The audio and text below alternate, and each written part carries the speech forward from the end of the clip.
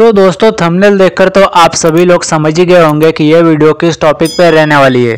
जी हाँ दोस्तों आज की वीडियो में हम बात करने वाले हैं BGMI एंड PUBG मोबाइल के पाँच ऐसे हिडन सीक्रेट सेटिंग्स के बारे में, जिनके बारे में हो सकता है आप में से काफ़ी सारे बंदों को ना पता हो, और ऐसा भी हो सकता है कि शायद कुछ बंदों को इन सेटिंग्स के बारे में पहले से ही पता हो, लेकिन उनको इसका प्रॉपर यूज़ करने का तरीका ना पता हो। सो so गाइस मैं तो रिकमेंड करूँगा कि आप पहले इन सेटिंग्स को ध्यान से देख लो और समझ लो, क्योंकि अगर आप ये सेटिंग्स को समझ लेते हो ना दोस्तों तो इन सेटिंग्स को समझने के बाद आपका गेम प्ले आप बहुत ही ज़्यादा हद तक इम्प्रूव कर सकते हो और जिसके बाद आपका गेम प्ले बहुत ही ज़्यादा बेटर हो जाएगा और आप पहले से बहुत ही ज़्यादा बढ़िया खेल पाओगे। So guys without wasting any more time आइए फटाफट से करते हैं वीडियो को स्टार्ट और दोस्तों, अगर आप मेरे चैनल पर पहली बार आए हो तो वीडियो को लाइक कर दो चैनल को सब्सक्राइब कर दो और बेल और आइकन को ऑल पे कर दो।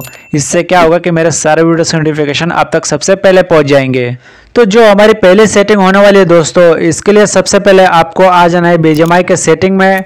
और सेटिंग में आने के बाद दोस्तों, यहाँ पर राइट साइड में आपको एक ऑप्शन दिखेगा कस्टमाइज बटन्स अब इस पर क्लिक करके आपको यहाँ से वो वाले लेआउट को सिलेक्ट कर लेना है, जिसका यूज़ करके आप गेम प्ले करते हो। तो लेआउट को सिलेक्ट करने के बाद अब यहाँ पर आपको दो फायर बटन शोर है दोस्तों, एक राइट में और एक स्क्रीन के लेफ़्ट में।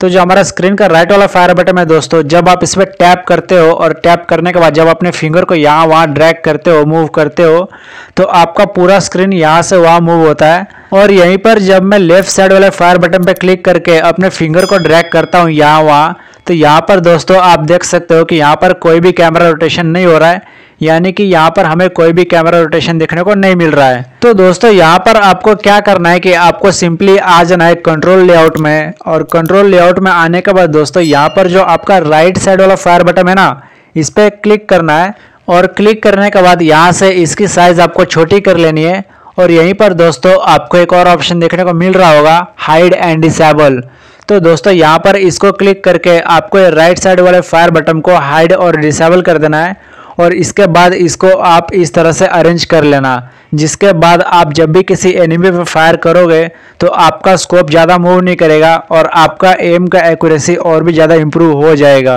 और अब जो हमारी सेकेंड सेटिंग है दोस्तों, उसका नाम है क्विक स्कोप स्विच अब ऐसे में दोस्तों, जब भी आप किसी से लॉन्ग रेंज फाइट ले रहे होते हो और अचानक आपको शॉर्ट रेंज फाइट लेनी पड़ जाए। तो शॉर्ट रेंज फाइट के लिए आप सिक्स एक्स फोर एक्स या फिर थ्री एक्स तो यूज़ कर नहीं सकते दोस्तों। तो इसमें आपको ज़रूरत पड़ने वाली है रेड डॉट की या फिर टू एक्स की। और जब आप रेड डॉट या फिर टू एक्स अपने स्कोप को चेंज करने जाते हो दोस्तों तो आप जब भी बैक पे टैप करते हो तो बैक पे टैप करने के बाद आपकी जो भी राइट साइड की आधी स्क्रीन है वो पूरी स्क्रीन का व्यू ब्लॉक हो जाता है। तो ऐसे में अगर कोई एनिमी राइट साइड से आता भी है ना दोस्तों तो आपको अपने स्क्रीन पे कुछ भी दिखाई नहीं देने वाला है। और वो बंदा आपको बहुत ही इजीली मार के चला जाएगा। और प्लस में दोस्तों, अगर आप ये वाले मेथड से अपने स्कोप को बदलने जाते हो ना तो यहाँ पर आपका बहुत ही ज़्यादा टाइम कंज्यूम होगा। यहाँ पर आपका बहुत ही ज़्यादा टाइम वेस्ट होगा। तो यहाँ पर जो भी आपका टाइम कंज्यूम हो रहा है दोस्तों, उसको बचाने के लिए आपको क्या करना है कि सेटिंग में आ जाना है। और सेटिंग में आने के बाद बेसिक कंट्रोल में जब आप अपने स्क्रीन को थोड़ा सा ऊपर स्क्रॉल करोगे ना दोस्तों तो यहाँ पर आपको एक ऑप्शन देखने को मिल जाएगा। क्विक स्कोप स्विच तो दोस्तों, अगर आपकी ये वाली सेटिंग बाय डिफ़ॉल्ट डिसेबल है ना तो इसको फटाफट से इनेबल कर लो।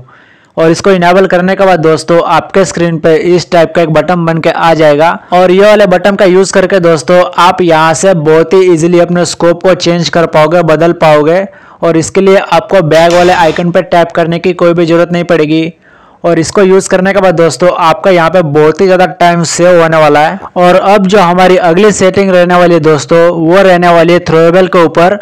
तो जब भी आप मॉली या फिर ग्रेनेड किसी बंदे पे थ्रो करने जाते हो या फिर आप कहीं पे थ्रो करने जाते हो दोस्तों तो इसके लिए आपको पहले लाइन सेट करनी पड़ती है कि आपको कहाँ पर मॉली या फिर ग्रेनेड थ्रो करना है। और कई बार तो ऐसे भी हो जाता है दोस्तों कि जब आप मॉली एनिमी पे थ्रो करने के लिए एम करते हो तो वो आपके ऊपर ही गिर जाती है।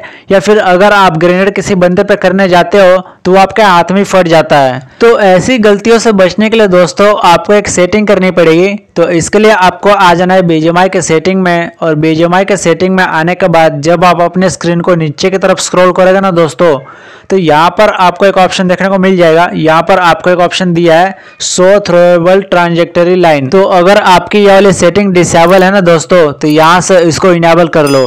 अब इससे क्या होगा कि जब भी आप अपने हाथ में ग्रेनेड लोगे तो ग्रेनेड को कुक करने से पहले आपके सामने इस तरह का वाइट लाइन आ जाएगा।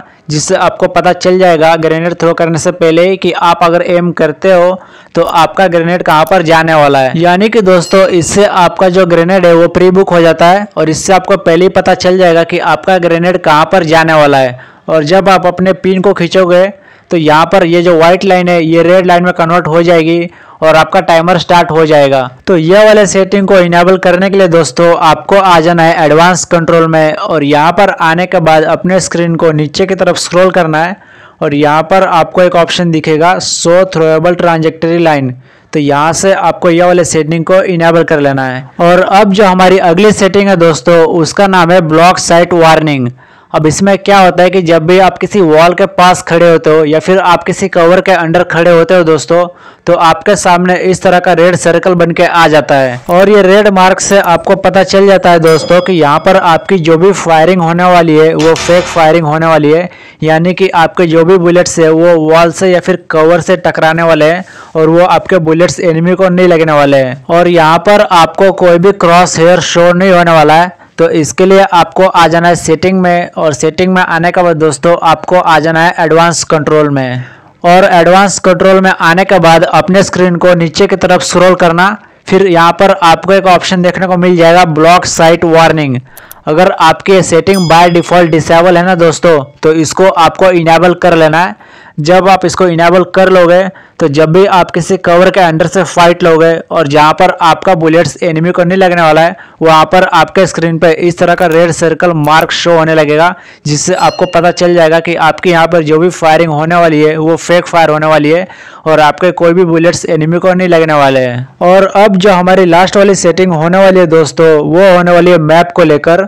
अब ये भी सेटिंग दोस्तों, आपके स्कोप वाली सेटिंग की तरह सिमिलर है। तो इसमें भी जब भी आप मैप को ओपन करते हो, लोकेशन सेट करने के लिए कि आपको कहाँ पर जाना है या फिर लोकेशन मार्क करने के लिए तो आपकी जो हाफ़ स्क्रीन है वो ब्लॉक हो जाती है, जिससे आपका जो आधे स्क्रीन का व्यू है वो आपको शो नहीं होता है। और जब आप मैप को ओपन करके लोकेशन सेट कर रहे हो तो ऐसे में कई बार क्या होता है दोस्तों की कोई एनिमी आकर हमारी पेटी बनाकर चला जाता है। अब यहाँ पर आपको तो एम करने का कोई मौका मिला ही नहीं, क्योंकि आपने मैप ओपन किया हुआ था। और मैप ओपन करने की वजह से आपको एनिमी दिखाई नहीं गई जिसके वजह से आप उसको कॉम्पिटेट नहीं कर पाए और उसने बहुत ही इजिली आपको मार दिया। अब मैप को लेकर बीजेमआई एंड पबजी मोबाइल में एक सेटिंग प्रोवाइड की गई है, जिसके बारे में बहुत सारे बंदों को नहीं पता है और मुझे पता है दोस्तों कि आपको भी ये सेटिंग के बारे में नहीं पता होगा। तो इसके लिए आपको आ जाना है सेटिंग में और सेटिंग में आने के बाद आपको आ जाना है एडवांस कंट्रोल में। अब एडवांस कंट्रोल में जब आप अपने स्क्रीन को नीचे की तरफ़ स्क्रॉल करेंगे दोस्तों तो यहाँ पर आपको एक ऑप्शन दिखेगा होल्ड टू ओपन मैप अगर आपकी ये वाली सेटिंग डिसेबल है दोस्तों तो इसको आपको यहाँ से इनेबल कर लेना है। और जब आप इसको इनेबल कर लोगे तो जब भी आप मैप पे टैप करोगे ना दोस्तों तो आपका मैप ओपन हो जाएगा। और जैसे ही आप अपनी फिंगर मैप पे से हटा लोगे तो आपका मैप ऑटोमेटिक क्लोज हो जाएगा, जिससे आपका जो टाइम है यहाँ पर जो कंज्यूम होता है, वो बहुत ही ज़्यादा सेव होने वाला है। और आप किसी भी बंदे से डायरेक्ट फाइट ले सकते हो। तो आज की वीडियो में बस इतना ही, और आपको इसमें से कौन सी सेटिंग सबसे ज़्यादा बढ़िया लगी दोस्तों, नीचे कमेंट बॉक्स में ज़रूर बता देना। तो मिलते हैं अगले वीडियो में कुछ और नए टिप्स एंड ट्रिक्स के साथ। तब तक लिए tata good bye and take care